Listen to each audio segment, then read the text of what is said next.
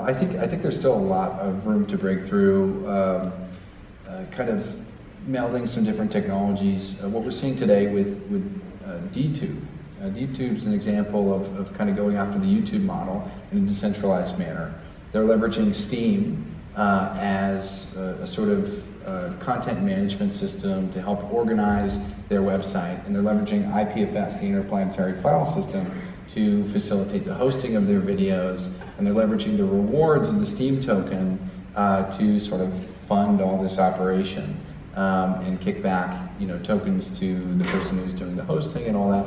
And I think this represents a very interesting, um, uh, an interesting opportunity in the ecosystem. There's there's a lot of untapped potential in video, and in live streaming, um, and in other you know, uh, uh, aspects of modern day social media that are absolutely uh, pervasive and, and uh, you know, viral. Um, in five years, we will see someone take over um, the video market or a large portion of it by leveraging blockchain technology and cryptocurrencies. Maybe it'll be DTube, maybe it'll be someone else. But there's some behemoths out there that um, we can take market share from and we can do it uh, on decentralized infrastructure with cryptocurrencies. So if you're looking for a big opportunity, I think you need to think big and think about going after some of the big players out there like YouTube. Um, so it's almost like any Web 2.0 company that you can imagine, you can do better with Steemit. You can do better by incentivizing the people who are participating on these on these platforms. Um, Steem is having uh, explosive growth in Korea.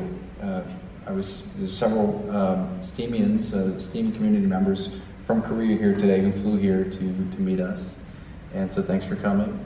And um, I have to say, there's something in the water over there in Korea. Culturally, they're just very open to the idea that you know the platforms they use should be incentivizing them to use it. And so there's nothing holding them back there culturally, and, and their growth has you know uh, outpaced the growth of the growth in any of the other countries that are using Steem. Um, I think that's really exciting, and um, you know, I think we'll just start to see more of that as uh, as we see the, the blockchain fever continue to take over uh, places like this. So I have a uh, interesting question. So uh, we are just talking backstage, and I find this absolutely fascinating. It's a, a startup story about how Steemit was born. So I'll just sort of ask you this question. Tell us about the lawnmower shop. Oh man, the lawnmower shop. Uh, it was actually called the Power Zone. Um, yeah, it was a great, uh, great little spot. Um, we actually, I think some people know this, we started in, in a friend's basement. Um, there were six of us at the time.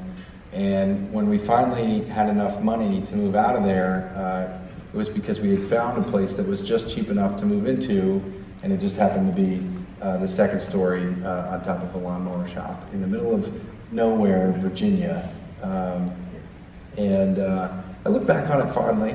You know, it was a bit of an odd location and an odd place, but uh, it was, you know, uh, some really great people in there, and uh, I got to learn a little bit about lawnmowers, um, you know, on this journey, which is cool. Did you ever have client meetings? You know, people confused, like, oh, it's just right above the lawnmower shop. You know. yeah, luckily we were able to stick to Google Hangout for most of the meetings. Perfect. No, it's like a great story. You know, decentralized companies, you know, starting in a basement, moving to a lawnmower shop, and then it's the number one blockchain, you know, in the world.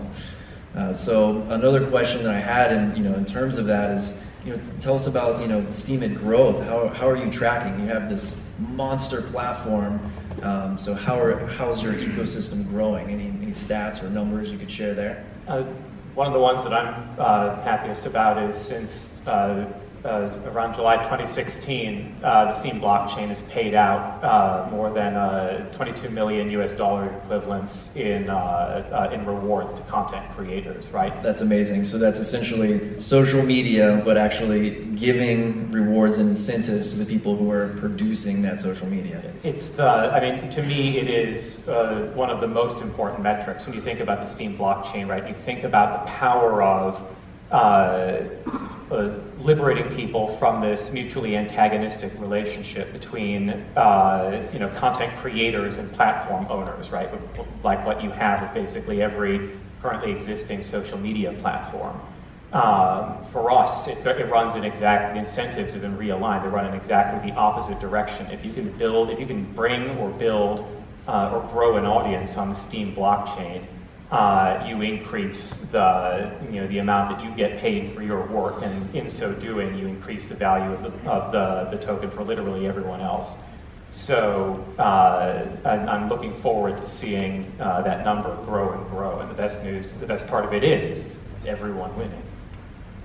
Have you ever have you experienced any of these sort of like uh, you know old, let's call them old at this point, you know, we're ten years old, uh, social networks? Any any uh, you know uh, flack from them? Have they reached out? Are they curious? Do you think they're going to adapt?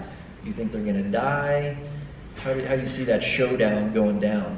Yeah, you know, uh, there's been more interest than ever since we came out with the smart media token concept. It turns out that a lot of these existing social media networks and companies had been watching us. And when they saw this, they really saw an opportunity. We were basically saying, you know, look at what we've done. Now you can do it too. And it turns out they had wanted to, you know, try it. And uh, so we've, we've been engaging in more and more conversations with uh, existing networks that you know uh, are either in their heyday or had been in their heyday six or seven years ago. Uh, that you know maybe leveraging some sort of advertising revenue model now, and they're really looking for something that can help them uh, be more aligned with their community members, right? And they see how tokens can help them do that. They see how Steemit, you know, website, uh, social network company is very aligned with the user. It's very aligned aligned with the other entrepreneurs uh, who are building around it on the same blockchain. And um, they want to share in that. It, it, feels very rich to them, where um, the you know the model based on advertising can sometimes feel uh, like you're working against your users. I think so. They're looking for new ways to, to bolster their business, look, looking for new ways to align with their community, and um, yeah, overall the, the feedback is, is very positive. So I'm really looking forward to getting smart media tokens out and you know seeing uh, you know maybe entrepreneurs like Diego find ways to integrate it creatively into, into his application and see other new entrepreneurs use it, and then maybe see some of these um, you know these existing social networks uh, find ways to leverage it too. So in terms of like you know tokenization, right? I mean, you're talking about the tokenization of everything is, is what Steemit's going to empower. So you know we got maybe like a couple of minutes left what is the impact of that? Sort of what's the why behind you know what you're doing, uh, and what does it mean for the future? My belief is that tokens begin to represent people's interests and their activities. Uh, it's sort of identity information, and in the future, as tokens begin to represent the points that you've received across all the applications that you've used and all the transactions that you've done, people can get a very clear profile of what you're about and what you care about.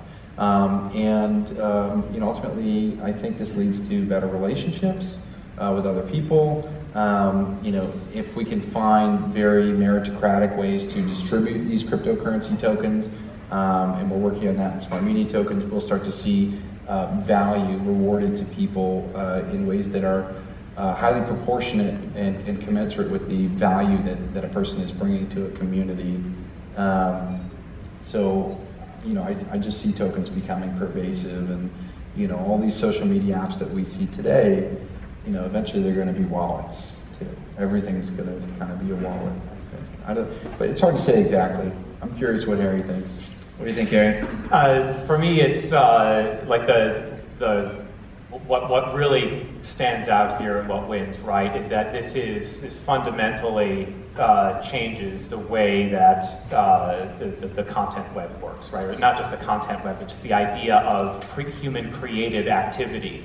Right now, uh, for the first time possibly, we have the ability to uh, uh, realign and more closely uh, have the rewards that people receive for their creative activity much more closely track uh, you know, the, the, the, human value that, that's been created, right? The interest that other people have shown in their work actually corresponds to the, you know, the, the, the monetary, uh, you know, the, the, the token-based reward that they receive. Right? So it's like a marketplace of creative expression. Yeah, I mean, it's the closest thing to, I know it's corny, it sounds corny to say it, but it's the, it's the closest thing to a literal manifestation of John Stuart Mill's marketplace of ideas that we've seen yet. Uh, and that's one of the things uh, that, uh, that I just find really exciting about it. Amazing. Any final thoughts, Diego? Yeah, I mean, I'm really looking forward for the SMTs and for the community futures. Uh, I mean, for me, smart media tokens will be Steem on steroids, so I will be able to change uh, its economics and to decide how to distribute uh, the rewards uh, throughout my community, uh, but also for my brand identity. I mean, I can really create my token um, using the power of the Steem blockchain, but uh, also giving my name, so it's going to be the Utopian token. Um, I'll be able to create more tokens if I want. So if I want to use a Utopian token for rewarding contributions, I can use another token for rewarding my moderators. So I mean, there are endless possibilities. Uh, also, the community franchise will be. Uh, I'm really, I'm really looking forward for, to them because um, I can. Uh, my community is going to be focused on specific topics. Uh, one of the uh, main issues that I had with Utopian is that no one was, was understanding what Utopian was about because we were talking about uh, contributions to open source projects. So it's not just about a social media post where you talk about yourself or what you did in your, in your day. Um, so being able to focus um, the community to specific contents and to uh, target an audience that is specific to the open source movement, for me, it's going to be a great event. Absolutely.